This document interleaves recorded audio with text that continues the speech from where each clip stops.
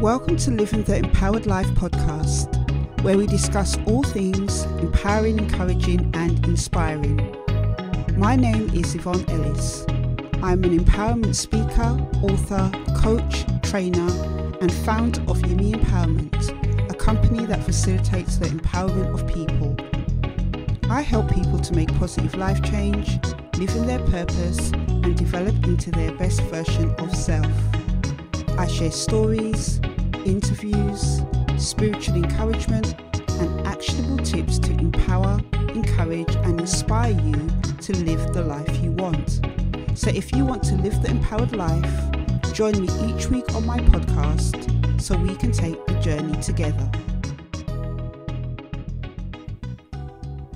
Hello, Empowered Lifers. Welcome to Living the Empowered Life podcast. Today is episode 20 of the podcast. If it is your first time listening in, welcome. I hope that you find the episode interesting and that you're able to take something of value away from today's episode. And if you've listened in again and you've continued to support me as I've done this podcast, I appreciate you. I want to thank you from the bottom of my heart for your support. It means a lot to me.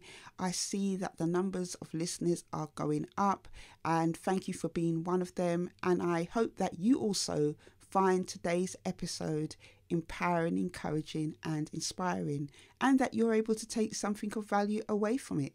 And if you're not following me on any of the platforms that this podcast is on Apple, iTunes, Spotify, and Stitcher why don't you give me a follow on one of those platforms? I believe you can press the subscribe button or the plus or follow button, you know, so you don't miss any of the bi weekly episodes. So, in today's episode, I want to talk to you about three things I wish I was taught or learned sooner. Now, this is off the back of me actually celebrating my 45th birthday last week. Yes, I said it, I am 45 years old. I'm not one of those people that get precious about my age or when I get to a certain age, I start hiding the numbers or, you know, minusing the numbers of my age. I see the fact that I have turned 45 years old as something that is a badge of honor, something that is an achievement. Because just reflecting on my own life and the things that I have had to endure and go through, it's a miracle that I even made it to this age. So I'm really grateful and thankful to God, you know, for getting me to this age, you know, for blessing me and showing me favor in so many things. But as I mentioned, you know, 45 is one of those ages where I believe that, you know, you start to take stock of your life. Well, you should be taking stock before that.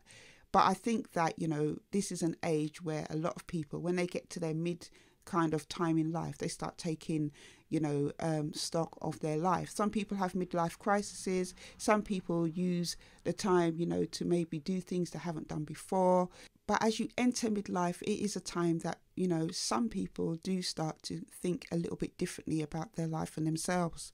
In the lead up to my 45th birthday, a couple of days before, I spent some time just reflecting, you know, from my journals that I keep, you know, looking back and just seeing what things that really stood out to me during my 44th year this is something that, again, some people do if they keep journals. I've been keeping journals now for over 20 years. I find them really empowering to keep because I love to look back on them to see how far that I have come. And I was looking back over, as I said, 2020, 2019, just looking back over the previous two years to see what things really stood out to me. I like to look on it for the year ahead so it can help me to either improve on some things, learn some things, you know, um, deal with some things maybe that I hadn't dealt with. And I find it a powerful exercise to do. And it was off the back of doing that kind of reflection for my journals that I'm doing this episode today about three things I wish I learned sooner or was taught sooner, however you want to put it, um, these are things I think that if I had um, learned them sooner or put into action sooner, they probably would have helped me to have a more positive outcome in these areas that I'm about to share with you. So, I've got three things on this list that I wish to share with you. The first life lesson I wish I had been taught sooner is how to handle money. Now, I grew up obviously in a household with a brother and sister, me being the older sibling. My mum did keep savings for all three of us. Um, I didn't see a penny of those savings once I spoke out and, you know, said about what was going on with me um, in my household. And I've done an episode on my story, so you can check that out.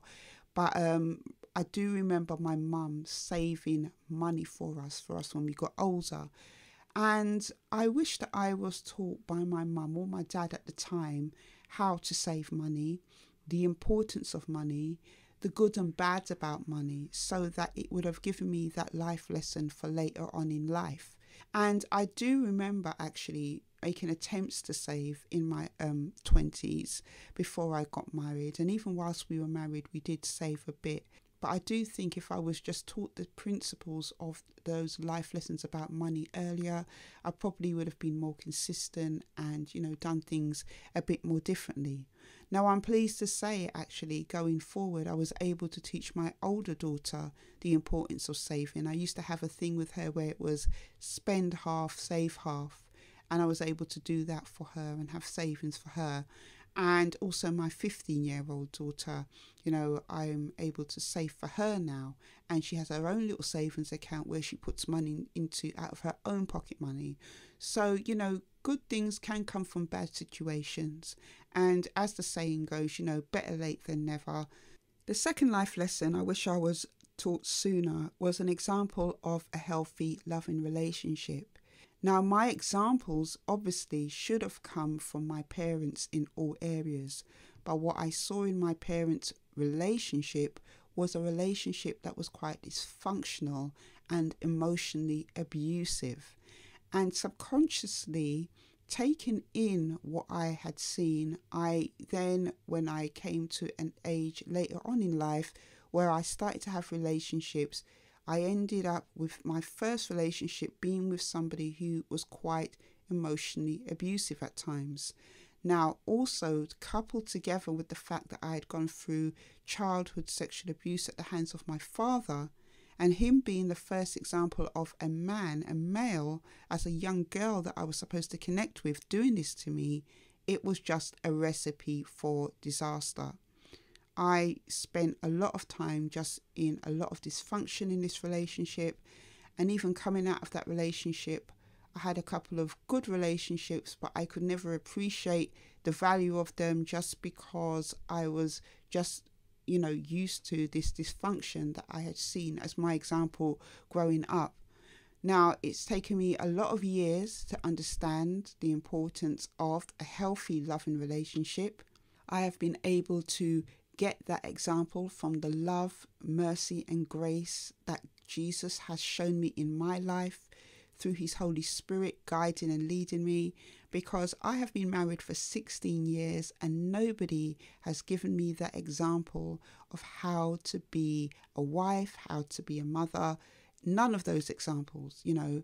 God has been to me my example for everything how he guides me, how he leads me, you know, what I learned through his word, the Bible, and also as well through trial and error. Trust me, I've made so many mistakes in my relationship, in my marriage, especially in how to be a healthy, loving woman.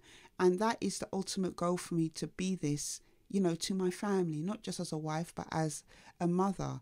Now, if I was shown those examples earlier on in my life, you know, through my mother's example, through my example of my parents, because they weren't married or anything, you know. Um, but if I was shown those examples of how they interacted with each other, treated each other, if my dad didn't abuse me, I believe that those life lessons of how to be um, a woman, how to have a healthy, loving relationship, you know, would have benefited my life for, for better. I certainly wouldn't have, I believe, got myself into a relationship where I ended up pregnant at such a young age. And I'm not saying that I regret my eldest daughter because obviously blessings come in different ways, but I probably would not have been in those situations or exposed to those situations if my father wouldn't have abused me, you know, and would have cherished me.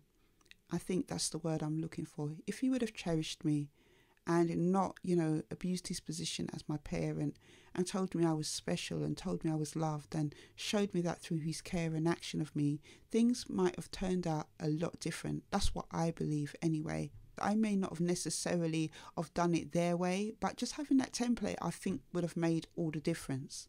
And the third life lesson I wish that I was taught was that I was someone of value, that I was worth it.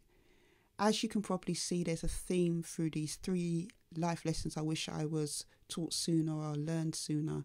And that is that the basis for all three of them should have really all started within my family environment. I should have been able to have got all those different things first from my parents. The fact that I didn't feel that I was worth anything or value to anyone for a large period of my life I believe came through all those experiences that started in my childhood. I never had anybody in a parental role affirm me or tell me that they're proud of me. The only one has been God that has told me that. But what I always wanted was for somebody, even though I had God, you know, telling me these things um, through His Word and just through, you know, His Holy Spirit, I just wish I had somebody that would have physically told me that they were proud of me and that would have affirmed me, um, especially in a parental role. Now, one of the strangest things happened that I have a couple of friends, one who has been like a confidant to me and was a confidant to me for many years, and another friend from my church who, in the last two years, you know, on different occasions, pulls me aside and said, You know what, Yvonne, you have been through so much, and look at how well you have done. I'm so proud of you. You know, you are amazing. And just having those affirmations, somebody saying they're proud of me and hugging me and that, I never had that before. And it was one of those things where you don't know you need it until you get it.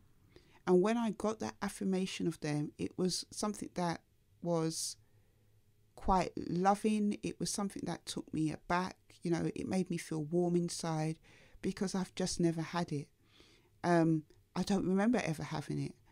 And it is important to feel that you are worth something to somebody.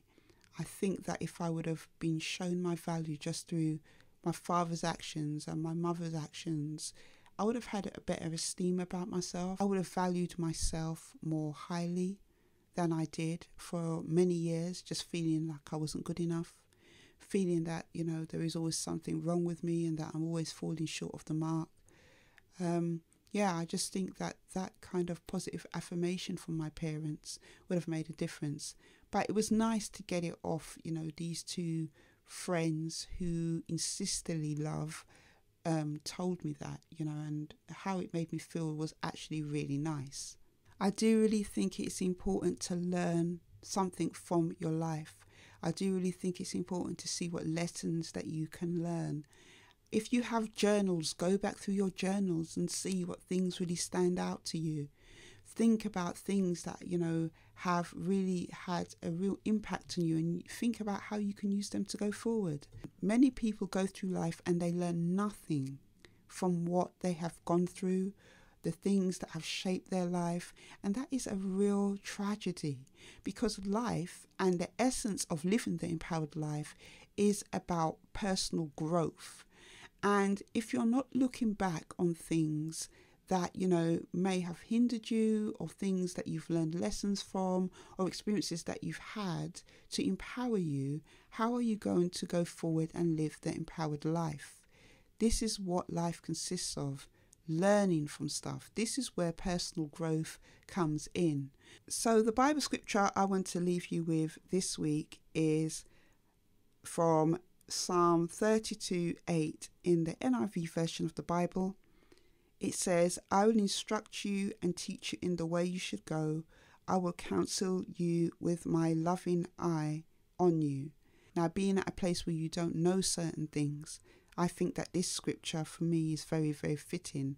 That God says that He will counsel me and guide me with His eye on where to go, what decisions to make, what things to do. And I can testify to that because He's already been doing it throughout my entire life, teaching me how to be a wife, teaching me how to save money, teaching me, you know, the value of myself and different things like that. So, as usual, I will post a notification of an upload of the new episode on my Instagram, which is Yeme Empowerment, Y E M E underscore empowerment. Check me out over there. Follow me on Instagram because I share inspiring, empowering, encouraging things over on that social media platform. I also, want to ask you this question when I upload this notification of the episode. The question is What life lesson do you wish you had learned sooner? And what difference do you think it would have made to your life? I would love to know and I would love to hear from you. Please continue to support. I will leave links to my YouTube, Instagram, everything in the show notes below, and I will see you on the next episode. Take care.